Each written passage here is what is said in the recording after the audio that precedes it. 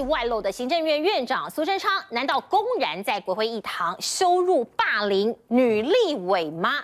这个事件呢引起的关注并不是很多。不过，我们先来还原现场，让大家一起来评评理。院长，你有没有觉得你很像那个？那种一些那种像什么渣男那一种啊，那个女的一直问说你爱不爱我？你说我为你做了 A B C D，对，做了这么多，然后呢，你能不能保证？你说你不敢保证。我我不是渣男，渣男这个不好。你你大概常常在什么渣男这想那个东西，我没有常在想。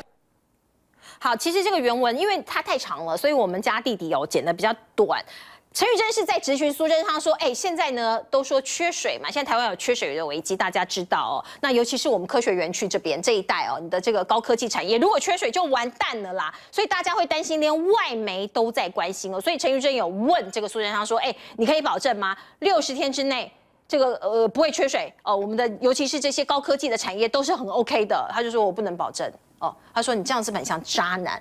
他就讲说哦，你大概常常在想那个东西。”这个语义哦，其实有点不明啊。有一些女生哦，其实我们我们为什么会讲这一题？是很多女生跟我讲说，前子我觉得那个感觉上很不好，有一点很不舒服的感觉。一般听，当然我们这样来判断呢，就以现在两性平等哦，大家都会很谨慎的。可是这个事件没有办法，就是说大家有共鸣，就是说第一个当下陈玉珍并没有说她觉得不舒服，院长你不应该这样回复我。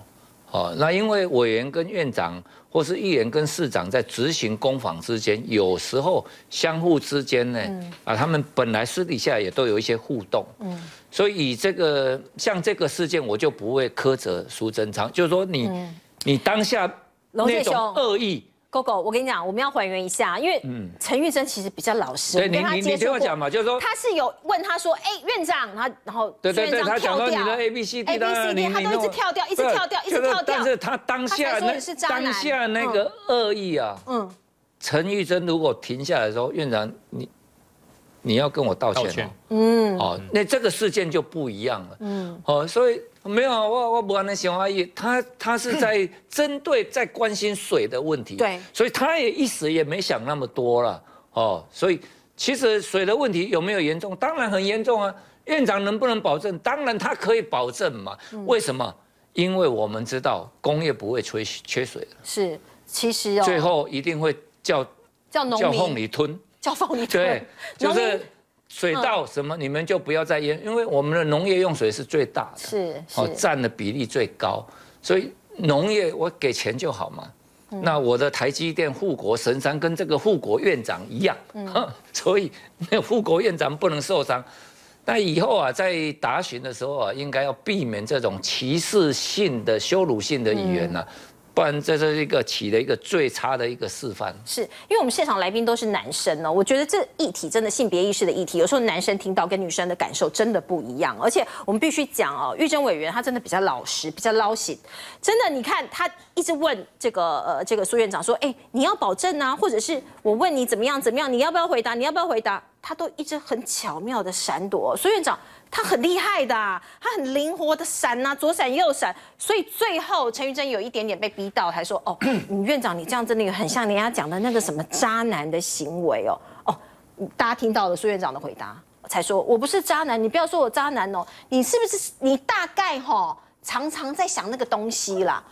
我觉得这是很不舒服的，对女权来说，对女性来说非常不受尊重。你有女儿吗？哦，我有女儿，我有两个都女儿。嗯，所以我说哈，其实苏院长这个事情哈，如果是对一个已婚女性来讲，她的另一半要抗议，对你有你大概每天都在想的那个渣男，那不就是因为我是渣男啊？我的太太在立法院质询，质询说你每天在想那个渣男，那先生不变渣男。其实我觉得，其实苏贞昌有几个疑点，我要跟他讲，担任一个行政院长。你对于整个行政院的院院务推展，等于说是整个国家经济所有事情的火车头。你任何事情，你就算不专精，你不能不知道。嗯，哦，你说工业会不会缺水？你当个院长会不知道吗？你就算不知道水从哪里来，你就算不知道从哪里去引水，要凤梨吞还是要橘子吞，水要缺的由谁来吞？你就算不知道，你至少知道工业不会缺水。可是可怕在这里，他不知道，他不知道。他知道按照苏贞昌的个性，他早就回复了。所以他其实不知道。他真的不知道，他如果知道的话，他马上就回复，而且还还会很用力的打你的脸。哎呀，委员呐，你真的很好笑，我告诉你，工业不会缺水啊，从来他不知道，他真的不知道。大家不要把行政院长苏贞昌看成很进入状况，你叫他闪躲，叫他躲讲理由，叫他做一些梗图，他会。你真的叫他讲国家的大政施政方针，我告诉你，你这不要为难他，他真的不知道。嗯，所以说陈玉珍问他那个事是很难的事吗？我们台湾的工业用水会不会缺？这样可不可以给外资还有所有高科技的产业一个保证？如果苏贞昌知道，我告诉你，他会铿锵有力的台国语双音的回答你。是。他真的不知道，是我们知道苏院长哦，过去的这个行为哦，这个展现霸气的这个教训别人，很凶的教训别人，大家还记得吗？高雄荣总那个院长被他修理，当他想修理谁的时候，那个人这个皮要绷紧一点哦。你看在被询的时候啊，他多么的嚣张啊，多么的没有礼貌啊，尤其是年纪比他小的、比较嫩的哦。你看，像是这个蒋万安就被他修理了，还有包括你看赖世宝，当然他比较老了哦，他的经验也比较丰富啊，两个人互相拍桌子啊，拍来拍去，拍来拍住啊，拍去啊。苏贞昌院长就是这样子啊，一点点都不让的。我讲的比较实在话，苏贞昌就是一个老奸巨猾、老贼头而已，基本上就是这个样子。因为呢，正常情况下你是。负责备询的，你不能反质询。可他每次都喜欢反质询，然后你明明在反质询，你还说你在回答问题，你根本就没在回答问题，因为人永远人家问 A，你就在答 B，哎，你就在故意在那边到处闪躲。那这一次呢，我必须讲陈玉珍委员这个东西哦，陈玉珍委员他当下可能没有想太多，但是你知道吗？现在的性骚扰事件是可以越想越不对劲的。嗯，你回去想想不对劲，你一样可以告他。我是主张陈玉珍委员，你要直接去告他。因为这句话的含义到底是什么？你苏院长，你敢不敢解释清楚那个东西到底是什么东西？你讲出来啊！你一个行政院长做的像个地痞流氓一样，你根本就是个老泼皮，在行政院讲这种话，在立法院讲这种话，你像话吗？那我就觉得奇怪，范云伟你死啊！啊，你不是女权主义者吗？人家讲成这个样子，你一点反应都没有，还是因为他是你你家民进党的，你就当做没看到，你就立刻瞎掉，你就立刻聋了，是这样吗？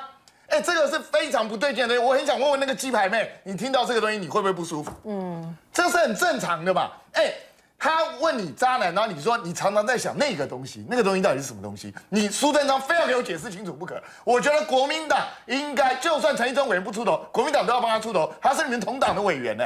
那我再来讲，苏贞昌院长，对他不是海龙王，他当然不知道什么时候会下雨，可是很简单的一个东西嘛，我们是有对策的嘛。国家，我们预期大概什么时候可能比较会有雨？那在雨还没有来之前，我们是怎么样、怎么样的阶段性限水？是农田哪一个区块的农田先限水？再来是不是？如果更严重的话，是不是到民生、民生用水也要限制住？其实去年我们就已经在限水了，不是吗？很多田就已经叫他休耕了啊，不就就是因为干旱的关系吗？那现在极端气候越来越恶劣，你行政院长已经当了好几年了。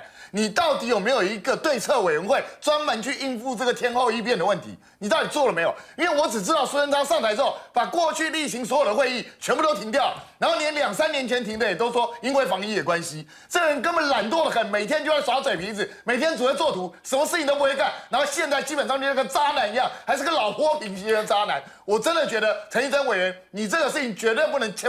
这样随随便便放过他，我也希望国民党你们用力一点呐！这种东西你能够如果让这种人继续在立法院跟你们这样嚣张下去，以后国会啊就变成菜市场，就变成流氓的天下。是，我觉得听这个兵哥骂人真的是很很开心、很爽，因为他真的是骂到了重点。其实不是骂啦，就是他把问题的核心真的点出来了。这件事情哦，当场我觉得陈玉珍委员就像我们比较老实，就是哎哎。哎，他就笑一笑就过去了。可是你真的回去越想越不对，甚至我们把这个整个现场还原之后，你真的觉得这个已经是到了性骚扰的地步了。陈玉珍委员当场没有想到，他现在想到了，国民党要做一点事情啊。包括你可以看到呢，呃，陈玉珍真的很辛苦啊，因为这件事情呢，网友没有去出征苏贞昌，直接来出征陈玉珍呢，就说你看呐，你这个停不停水，下不下雨呢？你当冲冲冲是海龙王吗？你承诺不成就是渣男，拜心拜拜要诚心，不要骂男人哦。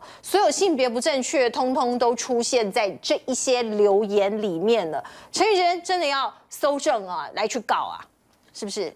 哦，这那网友过去甲单位员安尼冲哦，啊，这就有较恶质啦。哦，你无见义勇为，挺一个女性受委屈的，都已经惨死了啊！啊，你还阁挺这个三炮两炮的，啊去啊咧讲有诶无诶，我这这讲袂过啦吼。但是因为两性平权，民进党是不管是咧话，我甲你讲，我若小可看一个安那的，讲毋对，伊就是要气要拍，哈，你对女性无尊重啦，啊，你物化女性啦，啊，你安那讲一句话就袂得啦呢？如果这个两个颠倒过来，国民党跟民进党颠倒过来就惨了，会被骂死。过去嘛是捌去互安尼对杀过啊，哦，啊，即马想个，啊那伊讲一句话是比我较严重有够济，哦，所以。根本上就是两套标准一个来啊！嗯民进党就是安尼嘛，因囝半配的等咧大，咱的囝半配的讲咱等啊咧烂，就是两套标准，什么事都一样。哦，所以我来讲啊，今仔今仔这代志往来上者行。我我本来我这几日对苏金昌印象是安怎做好，因为他一直定调是简易问题。嗯我讲。如果是检疫问题，不管蔡英文，因为你蔡英文刚于将军讲，雄雄，你把它拉成国安问题，哎，不要这样子嘛。如果两岸不坐下来谈了啊，那我们，哎，各位观众朋友，我们眼睛睁着看，是大陆哦在这边刁难，还是台湾在白目？坐下来谈嘛。既然是检疫，那就针对检疫可以处理的，没那么困难。要怎么把介壳虫除掉？然后进口，金干单。那如果现在台湾就偏偏挖的不够，反正我就可以操弄政治，我可以得到政治利益，那那个时候就不是渣男可以形容的了。